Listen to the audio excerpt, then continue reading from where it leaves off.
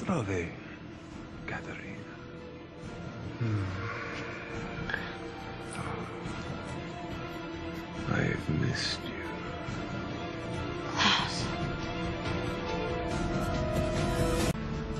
Zdravei, Katerina. Very good. Do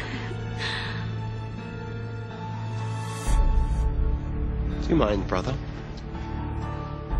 I would like to have a moment alone with her. No, no, no. Happy birthday, brother.